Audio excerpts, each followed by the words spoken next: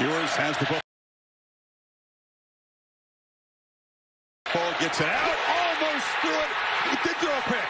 Right to Gentry Williams who jumped the route.